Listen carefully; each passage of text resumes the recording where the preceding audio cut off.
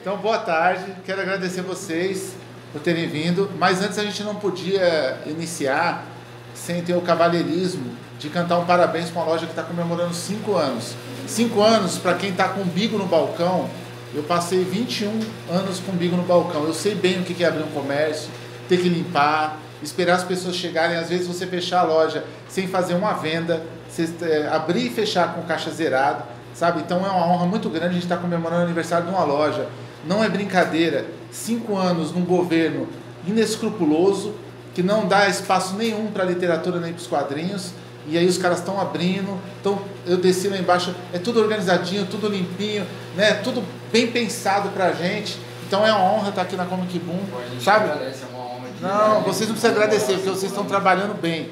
E eu queria bater um, um parabéns primeiro, aí cinco anos, né, mano? Vamos bater um parabéns para esse pessoal? Parabéns a você nessa data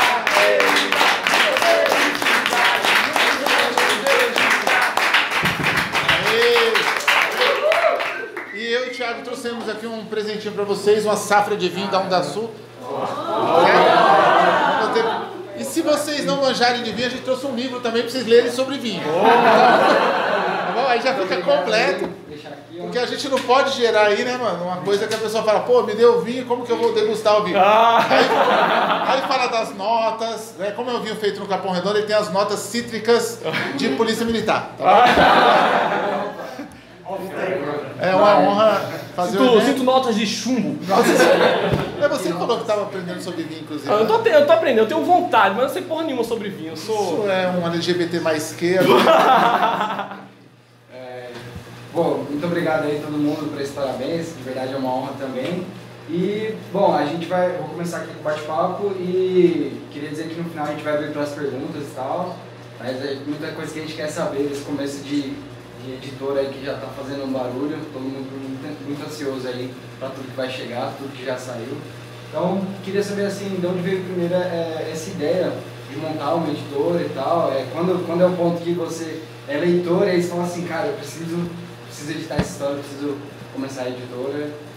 E... Uh, bem, vou começar respondendo. Eu sempre gostei de, uh, de revista. Né? Eu fiz até um vídeo de, dia desse falando sobre a revista Herói. Né? E acho que minha paixão pelo, pelo impresso começou um pouco ali. Né? Então sempre tive vontade de trabalhar com, com publicação, com revista, mais na parte de design mesmo, não tanto na parte jornalística.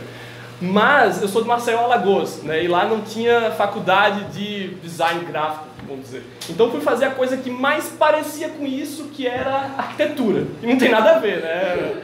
Mas, então, é, sempre tive em mim essa vontade, mas acabei por imposição do governo federal, que não tinha na universidade pública design gráfico, acabei seguindo outras coisas, mas sempre aquela vontade. Né? Então me mudei para o Canadá, e daí, como mudei de país, acabei mudando de profissão, fui tra trabalhar como designer gráfico, e, mas sempre aquela vontade, né? Será que um dia trabalhar com impresso? Né? E tinha aquela vontade, mas o negócio não. Aí montei o canal. Né? Então, pô, eu estou fazendo quadrinho, gosto de, design gráfico. Aí fui fazer um curso também de, aqui numa escola de educação à distância aqui em São Paulo, lá do Pub. Né? Fiz um, um MBA de uh, Book Publishing. Sempre com aquela vontade, mas, né, pô, os caras morando em outro país para trabalhar com o mercado brasileiro, o que, é que você faz? Até aquele fatídico dia. É, meu amigo Ferrez manda uma mensagem: opa, tudo bom? É, é, 5 de abril de um ano qualquer. em 5 de abril ele mandou mensagem, ei Thiago, tudo bom? Assiste seu canal. E daí a surpresa já bateu, esse bicho... Eu já conheci o Ferrez, evidentemente, né? Afinal, quem, quem é que não conhece aqui? Me surpreendeu que ele me conhecesse, né? E pior ainda, que assistisse meu canal e que tivesse interessado em um projeto juntos e tal. Aí aquilo ali foi, pô, finalmente tem alguma coisa aí, dá pra. Esse sonho dá pra né, tornar realidade. Eu já ia emendar nessa pergunta, né? Como que aconteceu essa parceria? Como que você chegou a encontrar o Thiago? Então, a minha jornada também é um pouco longa, assim. Eu fazia fanzine, né, ainda bem antes de escrever, de fazer poesia e tal. E eu fazia um fanzine chamado Hero Comics, assim. E eu ia na, na Muito Prazer, uma loja no centro da cidade, pegar aqueles fanzines da O Recado, da Devir, né? Porque eu não tinha dinheiro para comprar as revistas. Então eu pegava o Recado, que era uma página só, e eu ficava lendo tudo que ia sair Tá ligado? Então era meio assim, meio foda. Você vê o que vai sair, não poder ter, mas. Tipo gameplay, né? É, é isso aí. Você, você acaba. É, era uma forma de eu estar na cultura, sabe? Então, anos depois, eu montei o Hero Comics, é um fanzine que eu montava com letra 7 ainda, Pestap, para quem não sabe, cortar e tudo, e decalcar as letras uma por uma, né? Não tinha é, computador, nada, não tinha internet nessa época. E aí eu fazia esses fanzines e, e, e participava de eventos. Para onde? Eu ia para as comic shops e levava o fanzine, ia vender em Santo Amaro, ia nesses lugares, sabe? Nesses lugares eu ia, eu ia deixar o fanzine muitas vezes, deixar de graça e mandar para outros estados. Passou vários anos, eu tive a ideia de montar uma editora é, de quadrinhos, aí eu já tinha lançado meus livros e tal, e eu criei vários selos assim de quadrinhos tal, baseado principalmente no universo do Arquivo X, né? Então, Grande Mutato, os nomes eu ia pegando desse lugar e falei, vou montar um selo. E fiz os logotipos e tudo, contratei gente para fazer o logotipo, só que a ideia ficava sempre parada. Assim, eu não tinha, não tinha ninguém para dividir o sonho assim, fazer junto, sabe? Então eu ficava sempre parado. E aí montei uma editora, a Selo Povo, para lançar os meus trabalhos, porque eu entendia que o mercado formal ele estava estranho. Como eu sempre fui do underground, distribuía os fanzines tudo, eu falei, mano, esse jeito de livraria tudo, o meu público pede livro para mim nos lugares e as livrarias que eu vou, o meu povo não frequenta. Né? Então, eu vou fazer um sarau, vou fazer uma, uma sede comunitária, tem lá 50 pessoas. Depois que elas me falar, pô, eu queria o livro e tal, aí eu vou mandar elas para a livraria. Então, quando eu mandava para a livraria, ou quando eu comprava o livro da editora, ele sempre vinha muito mais caro. Então, eu tinha que vender um livro a 40 reais. E o pessoal falava, pô, mano, eu tenho 20, eu tenho 15. E o livro saía para mim a 25. Sabe? Uhum. Eu já deixando de receber a minha cota de autor. Então era, era uma coisa meio inviável. E aí eu comecei a criar uma carreira paralela de distribuição. Né? Então eu criei um pirata de mim mesmo. Tá ligado? e aí montei a Selo Povo e comecei a fazer os livros independentes. E nisso tudo eu nunca faço também só para mim, eu sempre faço para os outros. Então eu comecei a convidar principalmente mulheres, porque ninguém publicava mulher na época, de periferia. Né? E eu ouvi isso dos editores: mulher vende 30% menos em tudo que você publicar. E eu falei: eu gosto de desafio, então vamos fazer esses 30% render. Né? Então depois disso tudo, aí eu comecei a me apaixonar pelo meio de, de comunicação, que eu estava vendo essa nova possibilidade que eram os canais de YouTube. Sabe, a, meu, eu sempre fui um cara muito solitário na minha coleção. Meus quadrinhos, meus bonecos. Na periferia não tinha muito. As pessoas não gostam e as que vivem em volta de mim não gostavam. Então eu comecei a me amparar nos canais. Comecei a assistir o Pipoca Nanquim, aí descobri o Thiago, comecei a assistir o Comic Zone, comecei a assistir o do como é que é o nome do, do Dois Quadrinhos. E aí fui me aprofundando nesses todos. Descobri depois o canal do outro Bolsonaro lá, que eu parei de assistir. É, né, aquele cara lá. E aí foi. A gente vai e volta em alguns, né? Mas no final, eu tive um companheiro ali, que era os canais, que eu comecei a acompanhar.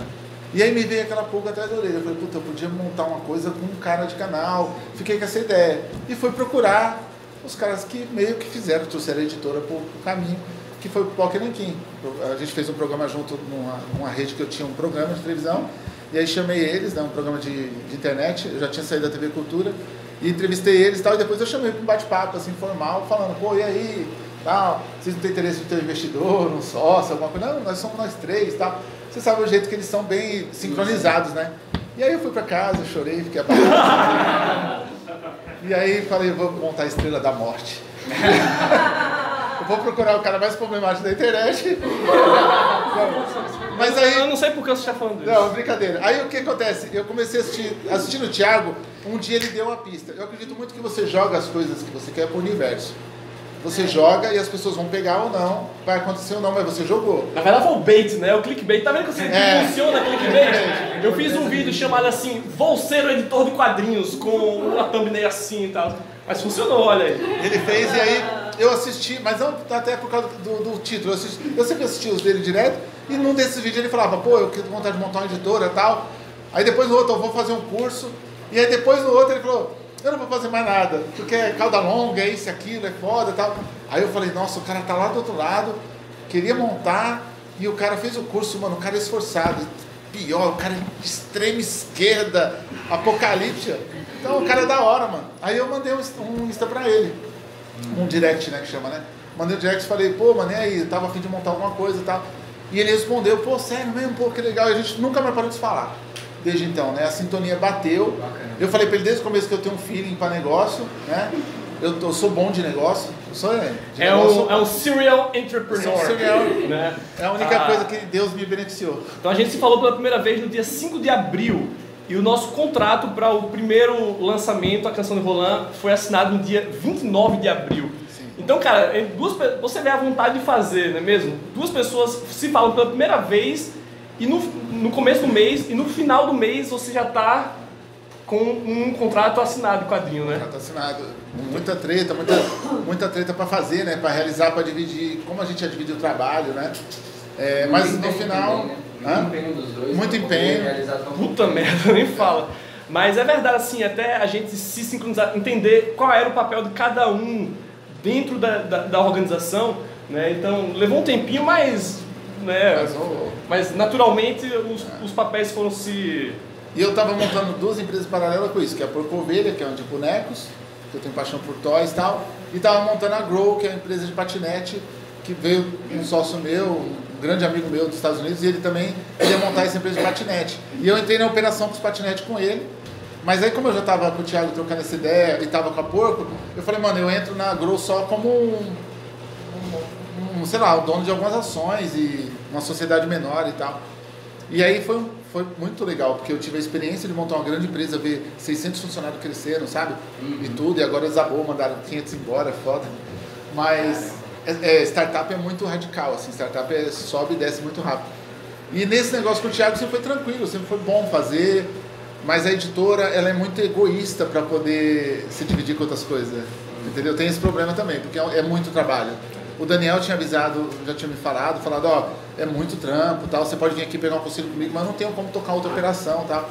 E realmente é muito trampo. Ele tava, hoje eu entendo como eles são muito ocupados, tal, porque é muito trabalho, é muito trabalho mesmo, assim. Tanto é que eu abandonei o meu day job, né? Porque no início eu tinha meu trabalho como designer gráfico e daí fazia ah, os trabalhos da editora no meu tempo livre ou no tempo de trabalho, né? Que eu fazia escondido. Eu tinha três monitores, né?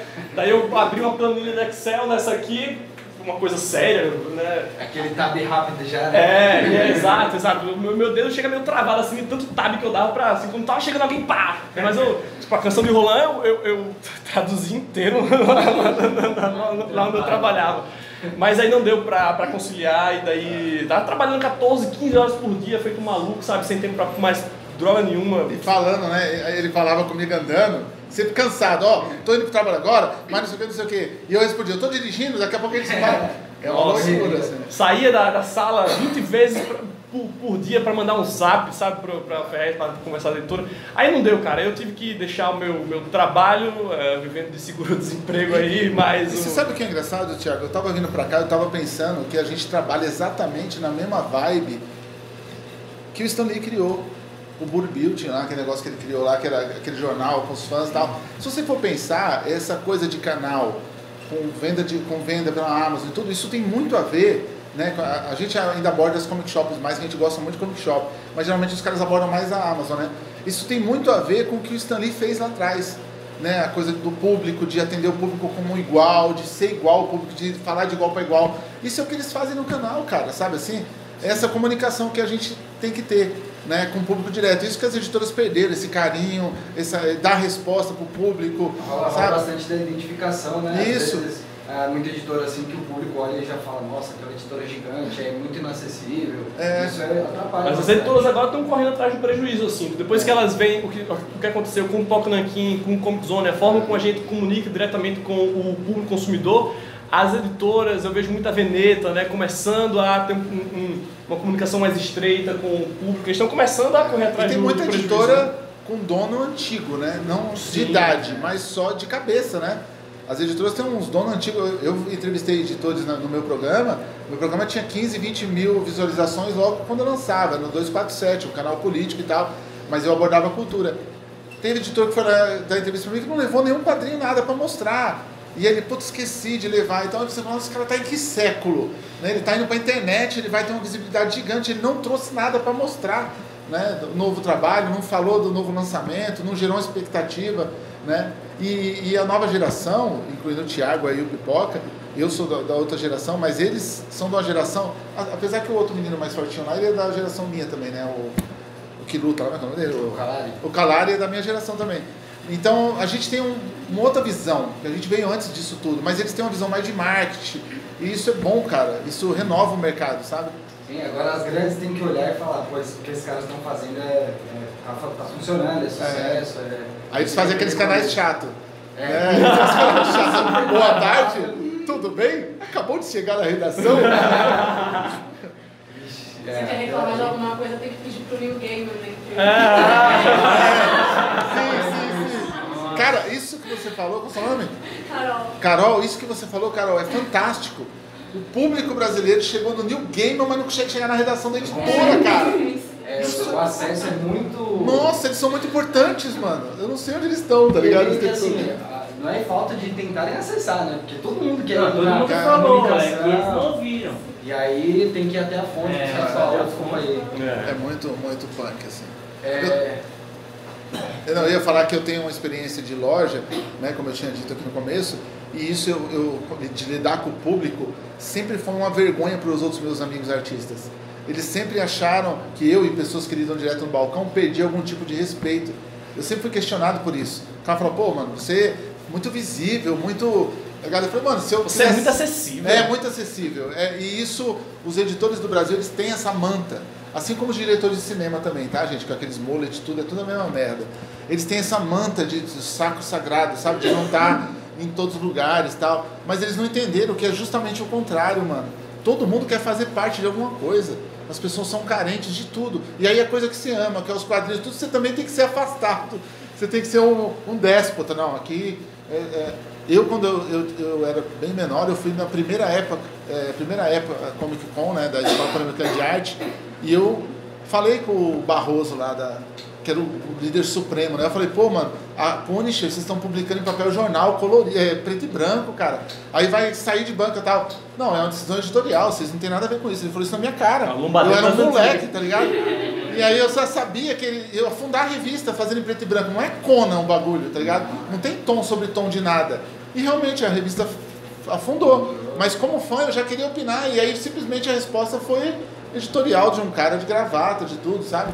Então a gente vê que. E depois poder estar na indústria como gente que quer fazer de pra, né? De fã para fã, é. eu acho que tem essa diferença. Acho que é só isso. É a diferença de você amar uma coisa tanto que você quer fazer o que você queria ler. É, até emendando um pouco no que vocês estavam falando agora, é, todas essa, essas decisões, é, como vocês vão lidar com, com o mercado que vocês estão querendo entrar de cabeça assim, como que vai funcionar isso e a ideia é, a princípio, né? E como vocês estão lidando agora, vendo, tipo, PS já está aí mais tempo no mercado editorial, mas como que está sendo para vocês como editora nova chegar nos pontos, é, a, a, gente aqui se sentiu muito respeitado quando entrou em contato e conseguiu todo o material, porque acreditem ou não, tem editora grande aí que não dá valor ainda para as comic shops brasileiras. Caras insistem numa, numa estrutura mais antiga e, tipo, como é né, se organizar para poder lidar com um mercado brasileiro que está passando por mudança e por ser novo. Cara, eu acho que é questão de respeito atender vocês dessa forma. A gente montou uma empresa, então a gente tem que trabalhar como empresa né? Então eu faço questão de, de tratar da forma que eu queria ser tratado se eu colocasse alguma coisa aqui, uhum. né? É, desde o começo vocês foram muito respeitosos, assim como a Monstra. Então a gente fechou com duas, três comic shop em São Paulo só. Infelizmente no Nordeste, Norte e Nordeste a gente queria fechar mais, mas tem muita desinformação. Assim, os caras mandam uma mensagem e aí eu fico puto, que eu respondo, aí manda frete, responde. É um negócio interminável, sabe? Hum. E eu, eu prometi, eu falei, mano, quando eu for pra aí, eu levo de graça e deixo os bi aí, vocês fazem. Tomo pra vocês, eu dou, mas desse jeito não dá, sabe? E eu entendo também a dificuldade, mas o correio de São Paulo é muito caro, né? O correio do Brasil, de forma é. geral. Então a gente está tendo esse problema de distribuição a, a priori. Depois, eu acho que esse ano em diante, a Comic Zone quer fazer um outro tipo de tratamento o Norte e o Nordeste, que é muito. É, o Sul, o Sudeste também mas a prioridade é Norte e Nordeste. Sabe? Eu acho que tem uma dificuldade. Né? Sim, tem uma dificuldade muito grande, tem um público leitor muito importante. Por exemplo, Santos é uma a capital geek do Brasil, cara. Sabe? E a gente não consegue mandar quadrinhos para Santos. E é perto, mas não consegue mandar. Eu quase pegando meu carro e levando. Agora a gente vai fechar um outro evento de cinema e nós vamos para Santos e eu vou levar os quadrinhos lá como eu já levei. Enche a mala de Já enche a mala e leva. Então a gente tem essa militância. dentro da editora. Eu acho que é o diferencial da Comic Zone. A gente vai, você vê, a gente chegou aqui com as caixas e tal, Sim, sim. e ó, não vendeu, a gente leva de volta, não tem problema. Mas a gente acredita muito no potencial. Mas é sobretudo da uma questão de respeito também É, com respeito. o pessoal das lojas, né? Inclusive, um recado para vocês, apoie a sua comic shop local, isso é muito importante. É muito bom ter um descontinho aqui e ali, mas eh, a gente só está tendo esse evento porque existe uma comic shop que ofereceu seu espaço para que esse evento acontecesse. Então, eh, se você vai fazer 10 compras, né, compra alguma coisa na, na comic shop também, que... é, não, é sério, é sério, é, não deixe as comic shops morrerem. Eu adoro espaços como esse aqui, frequento semanalmente e, portanto, recomendo a vocês que façam a mesma coisa. É, Até por isso a gente tem esse tratamento com as comic shops, né? porque- Usufruam, né? É. Usufruam porque é um momento único você tá na Comic Shop. Né? Não, não utilize apenas como vitrine para ver o que é bom e depois comprar online. Né? Vem aqui, compre, até porque às vezes a diferença não é tanta, né? Então apoie a sua comic shop local. Pô, bacana. É, queria saber também, assim, um pouco da- das decisões, né? Então, um pouco tempo de comunicação, como que chegou já a canção de Roland? Vamos lá, é, A, próximo... a canção de Roland é um caso especial. né? É um caso especial por quê? Porque como editora pequena, você não se atreve. Não, como, como editora pequena não, como editora inexistente. Né? Você não vai se- se atrever a mandar um e-mail para a Image. Olha, quero publicar Mother Falcon. Né? Ah, beleza, manda seu portfólio. Não, então, está começando agora. Né? Isso não se- né? Então, eh, esse é o primeiro ponto. A gente tem que começar com material de uma editora um pouco menor, né, que não tivesse tantas exigências como uma Image, uma Delcourt, uma, ah, sabe, umas- essas outras- francesas gigantes. Ah, Casterman e tudo. Ah, então, esse é o primeiro ponto. Segundo ponto, faz 10 anos que eu moro no, no- no Quebec, né, no, no Canadá. E eu queria absolutamente ah, começar por, eh, por um quadrinho ah, quebecois. E o Michel Rabagliati é o melhor, melhor autor. Não vou dizer quebecois, vou dizer canadense. E a Canção de Roland foi uma das coisas mais bonitas que eu li na, na minha vida. Muito tocante. Então, tinha esses pontos. Eu queria começar por algo canadense é, a editora La Pastèque, uma editora de Montreal, eu fui andando negociar, é, peguei o metrô e fui lá conversar com os caras, apresentar o projeto e tal. E então foi isso, apresentei com o Ferrez e geralmente como acontece é, é, é, é da seguinte forma, eu vou ter as ideias de títulos, né? muitas delas eu pego no, no- lá no nosso grupo, no Facebook, né? o pessoal, pô Thiago, tem, tem gente até que vai falar, é, acho que foi o Leonardo mesmo, que, que não sei se foi o Leonardo, mas alguém que falou assim, não foi o Leonardo, foi, foi um outro amigo da gente lá do grupo que falou assim, que, que postou no grupo um, um- falando bem sobre um quadrinho determinado que eu vou dizer. Aí eu, peraí, eu não vou a- aceitar esse post não. Por quê? Porque esse quadrinho é muito bom e eu quero publicar ele. Aí eu deletei o post, né? Aí eu fui falar com ele, aí eu fui falar com ele no, no off. Ei, bicho, é muito massa o seu post tal, mas eu, eu não vou publicar não, porque eu quero publicar esse gibi aí, tá ligado? Não quero dar ideia para as outras editoras não. Então tem muita coisa que eu pego de vocês, né? E por estar no, no Canadá, eu tenho acesso ao mercado norte-americano, ao ah, mercado europeu. Então eu sei muita coisa que o pessoal ainda não está de olho no, no Brasil. Né? Então eu sou responsável um pouco pela curadoria e o Ferrez é meu primeiro cliente. Eu tenho que convencer ele. Aí, meu amigo, 80% das vezes eu dizer, pô, não, Tiago, isso é uma bosta. Não, não mentira, né? Ele nu- nu- nunca fala assim, mas ele, né, ele dá aquele primeiro corte. Ou então ele vai dizer, pô, isso aí tem potencial, né? E daí a gente vai trabalhando. As decisões. E também tem coisas que. eh, que, que, ele- o, caminho, o inverso também acontece, mas normalmente sou eu né, que vou tagarimpando lá. O Eternauta, por exemplo, é um exemplo. Se lembra? O Eternauta estava na Comic Shop, olha a importância de, de, de, estar na Comic Shop. Tava num- e daí eu, eu não sabia, cara, que existia essa versão 1969 do Eternauta. E eu tava lá, "Pera, caralho, que é isso?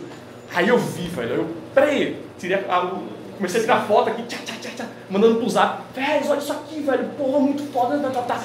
Aí ele também pirou e a gente, e... e Não, assim, e aí tinha Grow, porque como eu montei essa empresa de patinete e tal, aí essa que a prefeitura tá tumultuando e tomou tudo de nós, foi essa aí.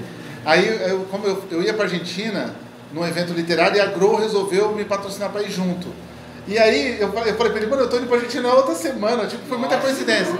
E ele falou, então Já você pode- compra, já compra já Eternauta compra lá, pra saber como é e tal. E a gente já comprou os Eternauta lá, eu, eu dei uns lances no Mercado Livre, comprei e comprei os Eternauta das Comic Shops que eu passei também. De novo, o papel das Comic Shops. Se eu não tivesse passado na maior livraria do mundo que está na Argentina, eu não tinha acesso a essas, esses, as revistas físicas, né?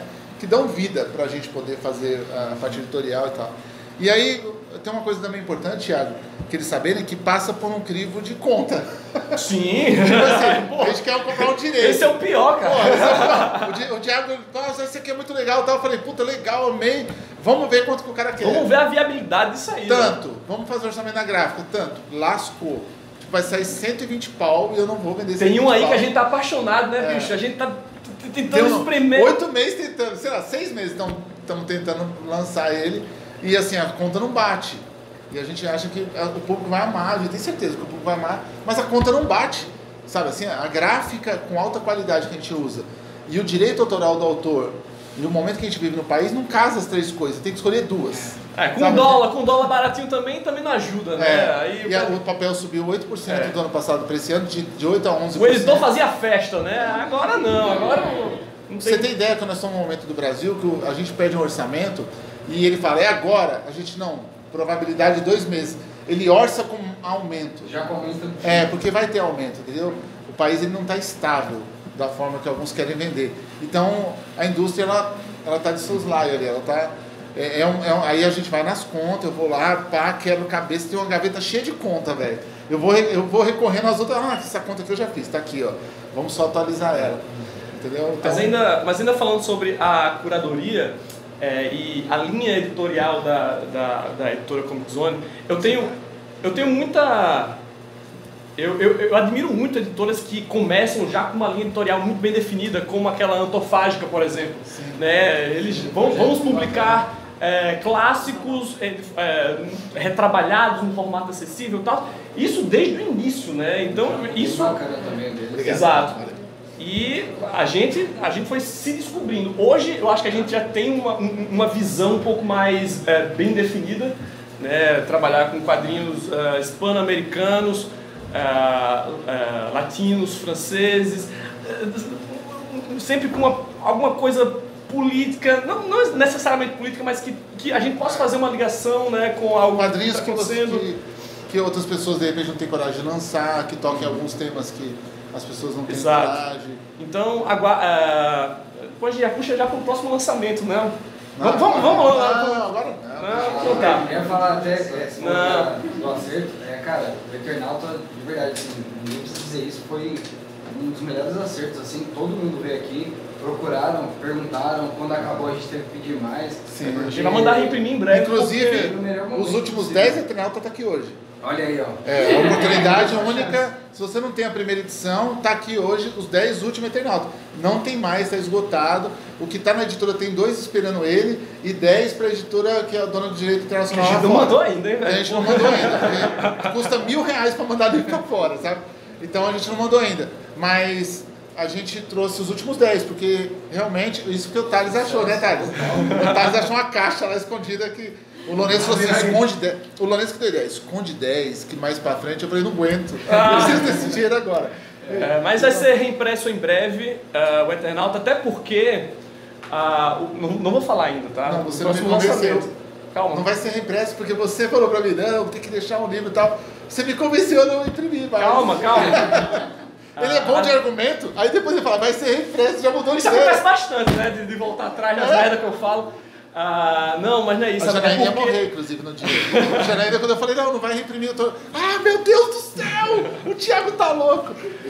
Ah, que conversa. É o best-seller da editora. O próximo lançamento tem a ver com o sucesso do Eternauta. Né? Uma edição Tem, sensacional. tem, tem a ver. é, o tamanho dela, a introdução dela, muito, muito bem escolhida. Ficou foda, hein? assim. Modéstia à parte. O André Pereira, que escreveu, é meu amigo de infância, é um sociólogo, um doutor. Ah, e, e eu pedi para ele escrever, faz- fazendo analogias, né? Do que é que a gente vê do Nossa. Eternauta com o que a gente vê hoje, né? Tem esse diferencial também, de ter um conteúdo diferente, ter um, É. né, um texto trabalhado por um professor né, especializado naquilo, para uma edição brasileira. É, a Argentina ficou muito contente com a edição. A gente mandou algumas edições para lá. Eu estou voltando para a Argentina em abril agora. pra- inclusive eu estou levando mais algumas edições para lá. A gente vai deixar dentro da Comic Shop de presente, né? Ele nem sabia ainda disso. Mas a gente está voltando em abril para lá. E assim, a Argentina ficou muito assim, contente e os, os leitores argentinos ficaram meio envergonhados. Assim, porque realmente as edições argentinas são As edições argentinas são porcas, feias pra caralho, Não tem né, outra velho? palavra para falar para vocês. É porco. É aquela. As É edições. Coliu, não sei Eu é. colei Coliu, para comprar, falei, você não tem outra. Não, é essa. Aquela capa laranja Nossa. cebosa, nossa, é muito Laranja, feia aquilo, horrível, velho. diagramação horrível, com defeitos, com erros. É uma falta de respeito com o Osterheld e com o Brecht. É uma falta de respeito.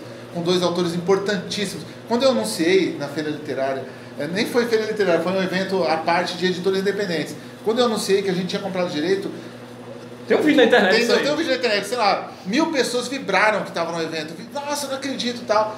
E, e aí você vai lá, a edição é porca da Argentina, a edição é ruim, é mal feita, é desrespeitosa com o autor. É desrespeitosa de verdade com a memória do Tem autor. vários erros de edição que eu Sim. peguei enquanto eu traduzia. Sim, essa edição aqui não é porque a gente fez não, mas nada passa pelo crivo desse menino que ele é chato de Jesus Cristo. Não, eu sou obcecado, gente. É. É, é, é- é realmente um problema. Eu fiz um, um vídeo dia desses em que eu falava um pouco sobre minha relação com os quadrinhos que a gente publica. Que eu sou incapaz de ler eles ah, porque eu não consigo desfrutar da obra assim, nossa, que leitura gostosa. Não, porque eu fico procurando erro naquela. Sabe? E quando. Ah, é, é, pra mim é assim. É. Eu tenho um problema. E, inclusive, quem não tem o, o- o- essa capa aqui junto com o release, a gente trouxe alguns para poder vocês pegarem de Sim. presente. Porque é um momento de dar para o pessoal que gosta. A gente fez a canção de Roland. Inclusive, essa imagem é exclusiva da canção de Roland. Aí a gente trouxe aqui para vocês, depois é só pegar. Esse se aqui foi um quiser. print que o Michel Abagliati fez ah, exclusivo, como ele disse. E daí, para um lançamento lá na La Pastec, editora de Montreal. Aí eu falei pra ele, e aí bicho, desenrola aí aquela imagem alta pra gente botar no release brasileiro e tal. Aí ele mandou pra gente, né? Então tá aqui pra quem quiser depois. É, porque isso aqui normalmente a gente manda pra imprensa, né? Junto com, com o livro. Ah, mas aí como a gente imprimiu um pouco mais, É, a gente, eu- a gente presente pra fez um pouco mais, que é legal o pessoal ter um pôster, alguma coisa para colocar em casa. Ah, é, inclusive, só queria dar um salve aqui para os meus amigos que são moderadores do grupo do Comic Zone. E se o grupo é tão legal, é, é, é muito é, graças a Renatinha, a Carolina e ao meu amigo Jeff, beleza? Então, muito obrigado aí pelo, pelo, pelo trabalho. É nós que vamos consumindo. Inclusive, você tem que falar mais desse grupo no seu canal, cara. Às Não. vezes você deixa Não, muito não, bombado. não, Fala não. mais assim, ó. O- Entrem bolsominions no grupo, de. O, o, o- a- a- eu não tenho mais pretensões em aumentar o grupo. Né? Eu- tanto é que o grupo há, há meses ele está com 16 mil e nunca sai de 16 mil, porque é um grupo assim que ele aumenta, mas ele diminui ao mesmo tempo, sabe? Porque ele, tá sendo, ele, vai, ele vai sendo fil- filtrado. É por isso que é um grupo tão bacana, tão importante, sabe? E, e- e esse pessoal aí me ajuda. Cara, seria impossível manter esse grupo sem a ajuda de Você vocês. não trabalha, não faz nada, assim, tipo... Não, mas não, Eles não, não, não, estudam, não trabalho. O prazer de, de, banir Bolsonaro. Não, não, é- não é um trabalho. Você não custa estar lá de bobeira no Facebook, aí alguém falou merda, você já dá um banzinho, né? e mas, tal. mas, inclusive essa parceria nossa, uma curiosidade legal, porque depois que a gente começou a conversar e tal, eu não tinha noção do tanto de inimigo que o Thiago tinha. Mas não tem inimigos. Até então- Eu não, não tenho inimigos e outra. Eu, eu tô numa vibe mais paz e amor, né? O homem, quando tá. E hoje que se publicou, é, aquele ali é o quê? De ontem pra hoje, o cara falando.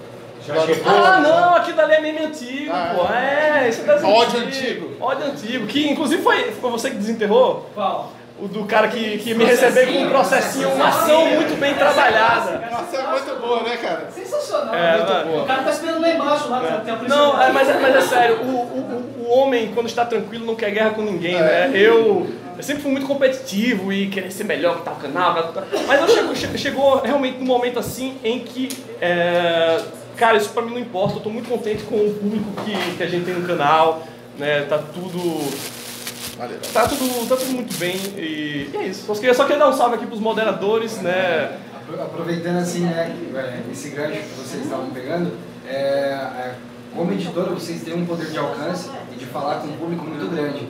A gente vê no próprio Osterheld, né, que vocês têm um, um empenho político também. né?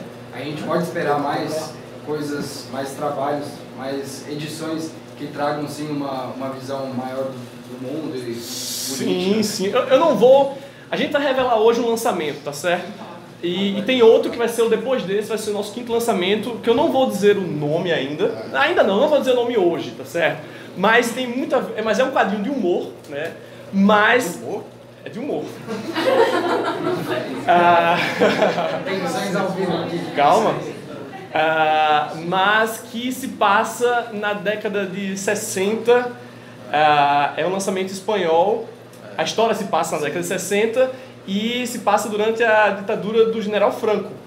né? Então mostra esse movimento fascistoide ah, aumentando em evolução na, na França, eh, na França, na Espanha. E cara, é um quadrinho ganhou o prêmio do Patrimônio Anguleno. É um autor ah, inédito no, no, no, no Brasil ah, e que dividiu ateliê com o Esteban Maroto, que vocês devem ter ouvido falar. Né? E. Pô, já tá googlando, googlando ali, porra. né? Sherlock Holmes. É, foda. Então isso tem, é, é bem político. Né? O nosso próximo lançamento é do Osterhald Brecht. Né? É- Calma, calma. Calma, calma. Queria passar primeiro, antes, antes de chegar lá, calma. Certo. Passar primeiro pelo, pelo último lançamento aí, que foi o Capa Preta. Uh! Esse aqui, sensacional também, sucesso. Isso é um grande orgulho, minha gente. E levou 10 anos da minha expectativa de vida, porque. Porque é muito fácil quando você pega um quadrinho que já tem um projeto gráfico interessante e você vai apenas adaptar para português, né? Como é o caso do, do Eternauta, já tinha um projeto bacana, a gente, a gente melhora, né? A gente pega aquele projeto e melhora aqui e ali, mas são projetos que já estão com um projeto, são, são quadrinhos que já tem um projeto mais ou menos definido. Esse aqui não, esse aqui quatro livros, é, formatos diferentes. é, Super raro, super difícil de encontrar. e daí É, você unir tudo isso em todo, coeso, trabalhar. Isso aqui foi. Sim, foi. E a gente não para de ouvir elogios, né? Eu- esse livro aqui, eu falei pro Thiago, Thiago, é uma pena que você não esteja aqui para você ver o tanto de elogio que eu recebi pelo nosso trabalho nesse livro. É, a gente foi na Gibicon, né? eu fui na Gibicon na Butantã, montei meu stand lá. De cada 10 pessoas que entravam, uma era para comprar, nove era para falar, só vim pegar na sua mão, agradecer você e o Thiago pelo respeito com o Mutarelli. É, e aí eu fiquei muito contente que o Mutarelli é meu, meu irmão, assim, meu, é, meu parceirão mesmo, assim, não tem nem como falar, se tiver uma palavra mais próxima que irmão ele é, né? Ele me chama de pai, eu chamo ele de pai também, de mestre, mas ele mesmo, esses dias a gente saiu do evento do Sesc, a gente vendeu os livros no elevador, quando a gente estava subindo, as pessoas compraram no elevador durante o percurso, tem imagens do Lourenço fotografando no chão durante o Sesc inteiro, porque onde ele ia, as pessoas davam para fotografar, e depois do evento ele falou para mim assim, eu vou te falar, você não tem noção de que todos os dias eu pego esse livro, e o amor que eu tenho por esse livro, o respeito que é isso aqui. E aí eu, eu, fiquei, eu fico emocionado toda vez que ele fala, né? Porque ele merece mil vezes isso aqui, né? Mil vezes. É, as editoras são tão erradas de não ter feito isso antes, Cara, nunca teve um capa dura. que é vídeos uma né? vergonha a gente ter feito isso aqui. É uma vergonha um cara de periferia trabalhando, vendendo roupa, um cara lá trabalhando, vendendo suor, se prostituindo. E, e a gente vê isso aqui. Frio da porra. O frio da uma neve desse inferno. Inclusive, gente, quem não segue no Instagram, segue, porque tem umas aventuras na neve, todo negócio Nossa, é. É muito bom. Ali na neve. As bonitas do Canadá. Pelado, né? comendo gelo. Vendo se o tiozinho vai, vai cair ou não. né? Comendo gelo, né? A própria filha, filma a filha caindo. Nossa. Ele falou esse dia pra mim, ó, eu tenho um outro aqui que é onde eu não exponho minhas filhas. Eu falei, mentira, qual que é? Qual que é? Não tem graça. Porra. É, mas é muito. é, Você vê que tudo isso ele consegue ser um pai brilhante, né? Eu acho que tudo isso que fez eu tentar me aproximar dele. Eu tenho uma fase na minha vida que eu ouvi alguns conselhos de alguns rappers antigos que falaram que a gente tem que se juntar às pessoas boas. Né? Então a gente tem que tentar se apurar para se juntar a gente boa. Gente ruim tem muito, você tenta melhorar ela, mas se não der, você se junta aos bons pelo menos.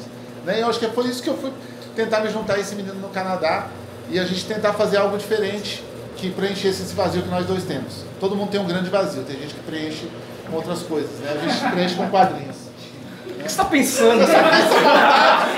Era pra ser um momento bonito e o cara já. Tá gravando isso aí, né? Tá O cara começou, eu já me senti, eu falei, cara, quem tá pensando de preenchimento? Tá preenchendo com o quê, velho? Não, mas é sério, a gente deu tudo que a gente tinha aqui nesse, ne- nesse livro aqui, cara. A gente, nossa, a gente trocou. Velho.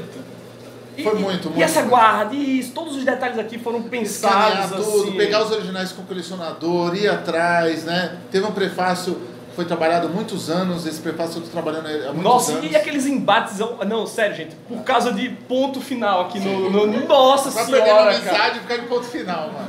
Porque ele, ele Por queria favor, por favor. o padrão de pessoas que lê quadrinho e tal, que, que é um padrão que tem tudo estético, tudo bonitinho, ponto final e tal. Na literatura que a gente faz, tem uma permissão do autor, que é o fazer poético, que você pode fazer do jeito que você quiser. Se quiser pôr sem acento, sem ponto, sem nada, desconstruir palavra. Tudo nós- minúsculo. tudo minúsculo, nós podemos fazer. E aí vem um texto que ele encomendou com a pessoa e veio assim. Da Lucimar, ela Da que fez Lucimar. a, a, a introdução desse Rapaz, livro. E ela me manda sem ponto final. Aí eu, pô, beleza, massa. Aí eu vou revisar, toma um ponto final. Pá, pá, pá, pá, pontuando tudo. Ferrez, não, ela mandou sem ponto final, é sem ponto final mesmo. Mas Ferrez, isso não existe, Ferrez. Eu não consigo. Não, não, não, mas é, é- é- é licença poética. Porra, tu é licença poética, velho. Vamos pontuar essa porra, tá errado. Não, mas é desrespeito com o autor. Não, velho, mas cara, tá errado, velho. Os caras vão. O- você não sabe que fã de quadrinho é chato. Vão reclamar que tá faltando ponto final. E, nossa, velho, foi. Velho, eu, eu envelheci alguns meses ali E nessa depois que ele aí, concordou velho. tudo, ele me ligou depois da semana, não consigo, é um negócio meu, não. Aí eu falei, então você vai procurar um psiquiatra alguma coisa, porque eu vou publicar assim, a gente tem que publicar assim. E aí aí eu falei com a Lucimar no meio do processo, falei, Lu, a gente tá dando uma corrigida ali e tal, tal, não tem problema, faz do jeito que você quiser, querido. Aí eu falei, beleza, aí mandei pra ele, tem que ser do jeito dela, tem que ser. Aí ele, puta, não acredito. Olha cara. que filho da puta, eu vou. Me dá uma canetinha aí que eu vou pontuar aqui. Aí, aí eu, eu apelei pro lado dele, editor. Eu falei, ó, você leu a obra dela antes? Viu a desconstrução? Então, li outro livro e tal. Falei, então, quando você contratar um autor, querido, você tem que saber como ela faz. Aí ele, checkmate.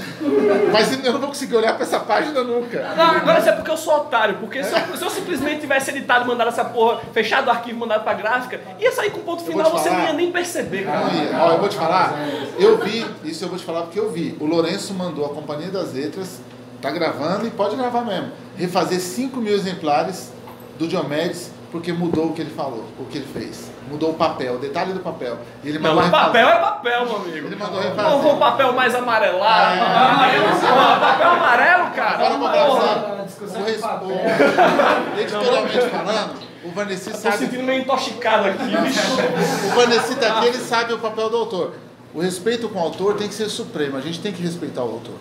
Né? O autor, ele pediu dessa forma, é desconstruído dessa forma, e a gente sabe, no final, você mesmo falou, o, o público da Comic Zone tem inteligência tamanha para entender isso aí já E outra era. coisa, o Ele Ferrez, o Ferrez, antes de ser editor, ele é um autor. É. Né? E É... eu puxo muito pelo- por essa coisa do autor, sabe? Até Exato. pagamentos, tudo Ah, exato, sabe. exato. E daí eu falei, não, se, se o autor tá falando, se o, escrito, se o menino, se o escritor aqui tá falando, eu vou E respeitar. eu pus Marcelino Aí na linha ainda, eu trouxe outro. Caralho, essa foi foda, Marcelino velho. Freire, o cara trouxe Marcelino Freire pra mandar um áudio pra mim no Zap Zap, me falando da importância de respeitar as decisões do autor. Eu, caralho, eu me senti assim, foi, foi, foi uma enrabada via Zap. Falei, não, tudo bem, bota sem ponto no Mas, assim, final, o pô. suspiro do autor é a falta de ponto, é o suspiro do autor. Nossa, Aí cara. eu falei, nossa, que bonito ter o Marcelino junto comigo É nessa foda, eu vou arranjar uns amigos influentes também pra mandar pra você quando, tiver, Não, mas, quando ó, quiser te convencer dos Mas pontos. nesse território, nesse território você não tem como, porque nesse Não, não, a é. gente viajou para vários países debatendo literatura marginal.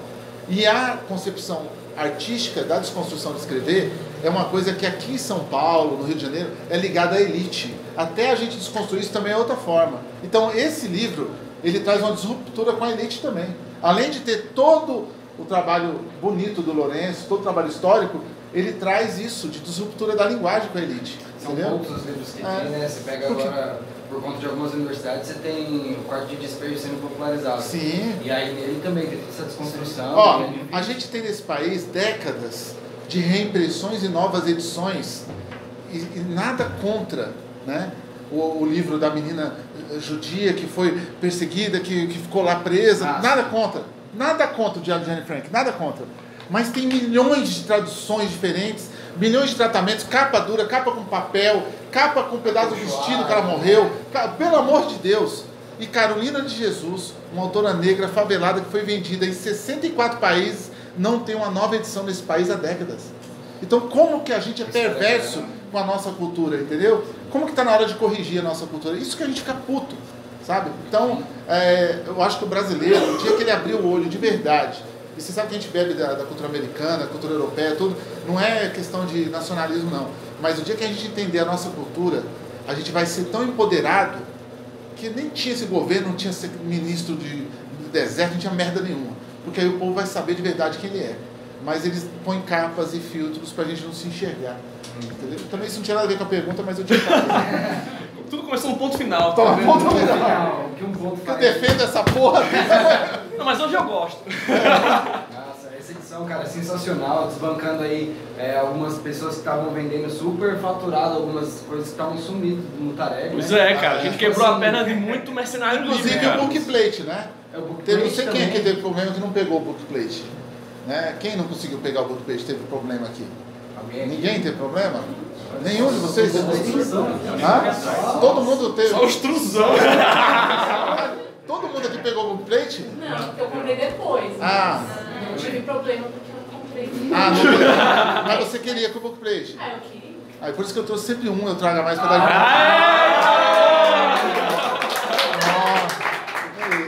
Eu sempre trago um, porque sempre tem uma pessoa falando, não, eu tô um pouco magoado. Nossa, tá que você tem um bookplate e eu não tenho, né? Ah, mesmo? Você não quer? Eu não tenho, velho.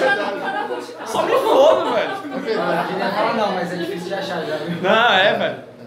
Mas ah, esse, esse é uma numeração que a gente fez da, da Comic Zone mesmo, né? Fora dos 666. É, porque a gente Então, numerou, né? Eram 60, é, 666 é, numerados, mas a gente imprimiu alguns a mais só pra né, ter um estoquezinho. E também para fazer isso, né? Dar uma gargalo. A gente estava na, na outra, na outra comic book, bookshop, a, a Monster, aí teve uma menina que falou assim, nossa, eu me senti tão é, ruim porque eu não tive o bookplate e tal. Contou uma história tão triste. Falei, nossa, ainda bem que eu trouxe esse bookplate. Mas, aí não, eu não tinha trago, na verdade, eu mandei por carta, né? Eu te mostrei Sim, sim, sim, sim. A gente mandou por carta. Porque acho uma forma de ca- carinhosa, sabe? De recompensar a pessoa. A gente sabe que a gente está num país muito difícil de você ter dinheiro e a pessoa dá 120 reais numa obra dessa. Né? Então o bookplate foi um presente para as pessoas.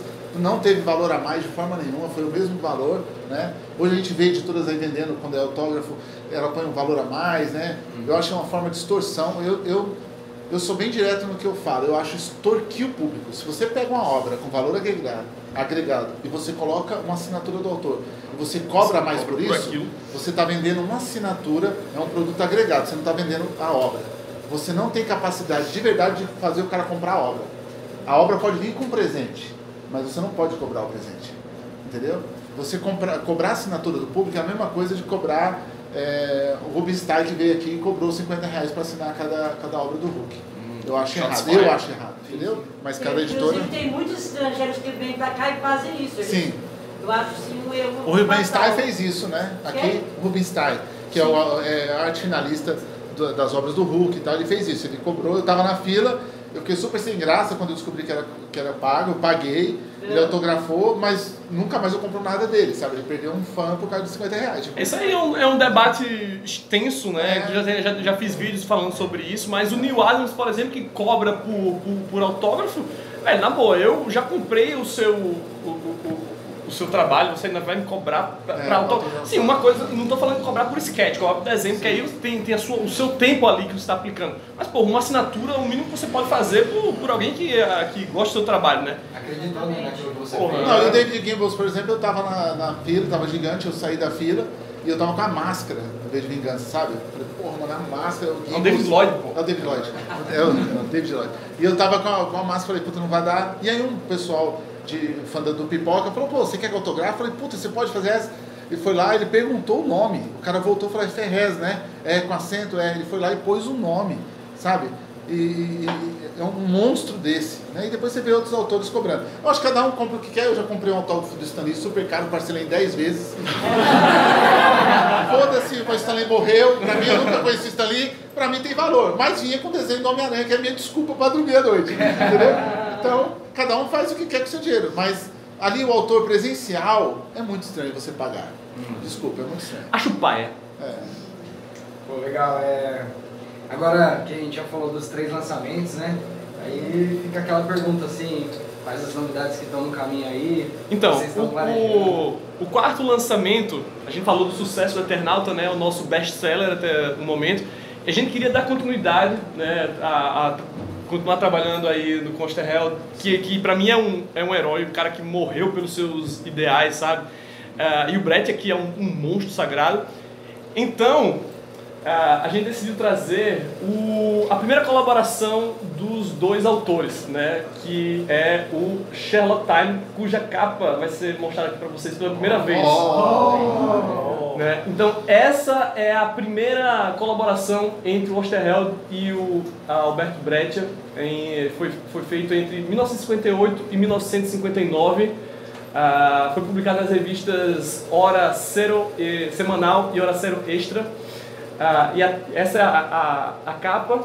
E a contracapa é essa que vocês estão vendo aí, que vem com uma citação do Eduardo Risso, né, meu brother, é, o Eduardo Risso foi, foi aluno do Alberto Brecht, né? O Alberto Brecht criou a Escola Pan-Americana é, de Artes em Buenos Aires. O Eduardo Risso é, estudou lá, né? Foi aluno do Alberto Brecht. Então, sabendo disso, eu, eu mandei um e-mail para o Risso e, ó, oh, a gente está publicando Sherlock Time pela primeira vez, é a primeira vez que isso é publicado no Brasil. Você não queria, não, escrever uma besteirinha e tal? Aí ele falou isso aí, né? É, Sherlock Time é, na minha opinião, uma das obras mais relevantes da dupla Osterheld-Brett. Como sempre, o roteiro aprofunda a humanidade de cada personagem e Brett não perde a oportunidade de brincar e improvisar com a arte, conferindo a esse trabalho um toque particular à frente do seu tempo e o tornando imediatamente um clássico obrigatório na biblioteca de qualquer leitor de quadrinhos. Então isso aí é o que o Eduardo Risso fala sobre Caralho, velho, você decorou esse talento, não é possível, eu não tô lendo nada. Eu não consigo ler, eu não consigo ler a, a, parte amarela, eu não consigo ler. e a capa, ela não é do Alberto Brecht, é uma capa que foi feita pelo uh, seu filho, Henrique Brecht, né, uma homenagem ao pai que saiu na revista Pif Paf, uma revista argentina na década de 70. E daí a gente comprou os direitos dessa capa, só que o cara já não tinha mais o original. Né? Então a gente foi atrás na Argentina de uma revista Pif Paf, que a gente escaneou em alta e eu retoquei ela pra tirar. Porque tá, tá toda fodida, né? Vamos fazer a história direito. Então a gente. Primeiro você pagou pra retocar, aí a pessoa não fez. Ah, isso é verdade. História. Aí eu fui no Twitter. Porque assim, pô, eu tava traduzindo também. Eu, eu traduzi é. o Sherlock Time assim como um Eternauta. E daí ocupado pra cacete com a tradução, falei assim, tá, vou terceirizar, vou pedir pra alguém retocar. Aí a menina teve uns problemas lá e tal, enfim, enrolou umas duas semanas aí e não, não entregou. Eu, peraí, se quer alguma coisa bem feita, faça você mesmo, né? Aí agradeci e peguei meu dinheiro de volta e daí eu retoquei eu mesmo, né? E, e o chefe, essa gota de sangue tem a ver com a primeira história, porque na verdade é uma compilação de 11 histórias que saíram entre esses dois anos. Ah, e essa gota de sangue é, é, da primeira história, né? Então vai estar em verniz, Ou seja, tal. edição com capa única no Brasil, feita pelo filho do Brecht. Única no mundo, é, o Sherlock Time não é. tem essa, essa Feita pelo filho, filho, do Brecht e totalmente refeita para essa edição aqui. Sim, foi a, a, a, a, a gente pegou os arquivos de um editor italiano, né, porque algumas páginas se perderam, uh, mas a gente encontrou alguns originais que foram escaneados, enfim, foram os scans das melhores fontes. Então tá aí, Sherlock Time é, é o nosso quarto lançamento. É, e... É. Primeira colaboração entre o Osterheld e Brecht. O quinto lançamento é aquele que eu, que eu não vou dizer o nome, mas é um autor espanhol, né, fala, tem a, é, é, um quadrinho de humor, mas tem bastante crítica social, tem a ver com a ditadura uh, General Franco na Espanha. É um cara que dividiu uh, ateliê com o Esteban Maroto, ganhou Angulema, né, o maior festival de quadrinhos do planeta. Aí tem o sexto lançamento também, que esse, esse caralho, velho. Vou dar só uma dica, dizer que é argentino, hein? A gente tá olhando com muito carinho para o mercado argentino, porque tem muita coisa boa, velho. Tem muita coisa boa que nunca foi publicada no Brasil. Então a gente tá realmente. Colorido é argentino? O quê? Colorido não. Não, colorido é francês. Isso aí a gente tá tentando vai rolar, viabilizar, vai rolar. Vai, vai, vai, é, ele é o tio Patinhas, eu chamo ele, que é o homem do, dos números, né?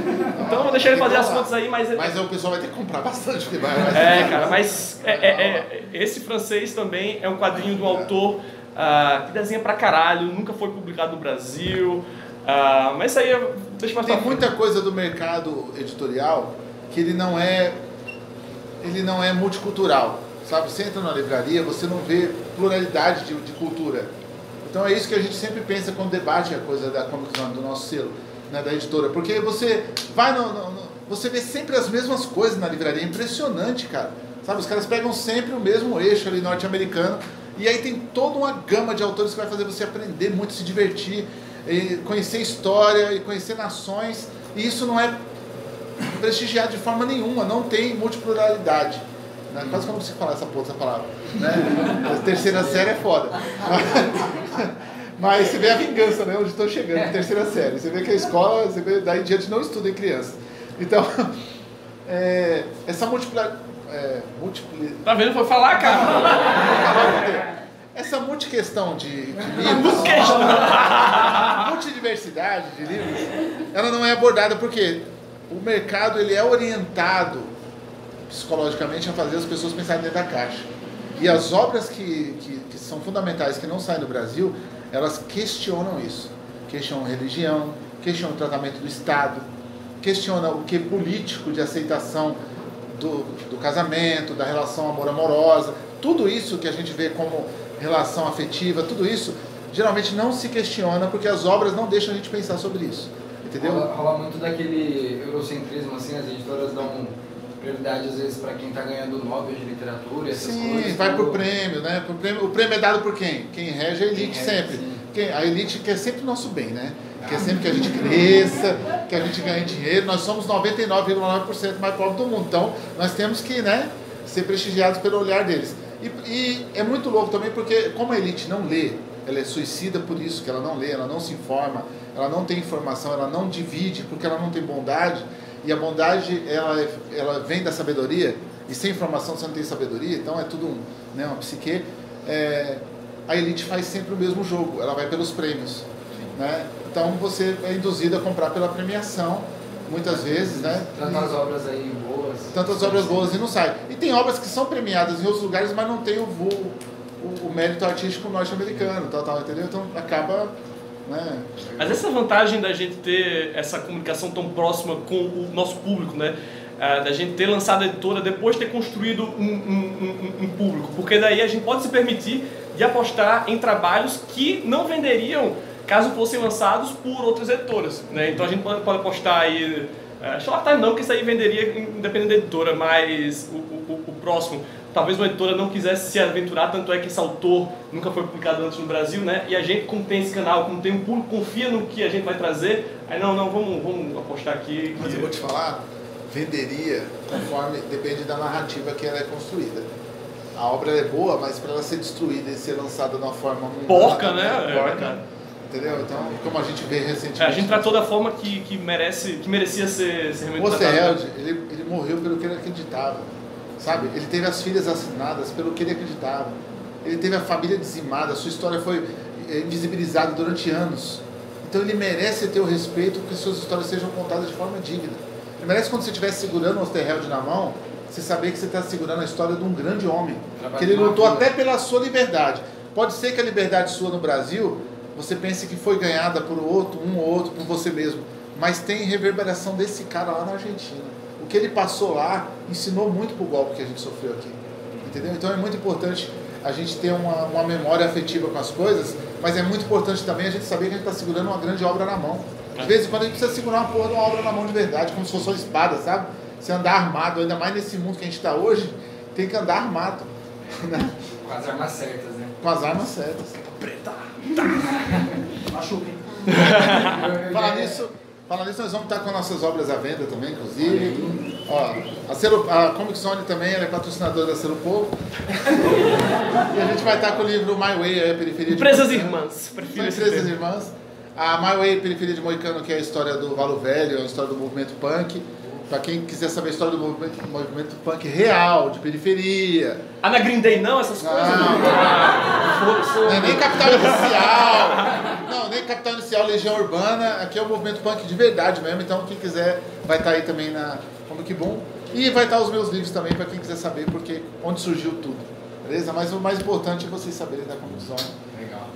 Eu ia perguntar assim, se o que vocês tinham de ideia para poder lançar. Tem bastante coisa aí, vendo.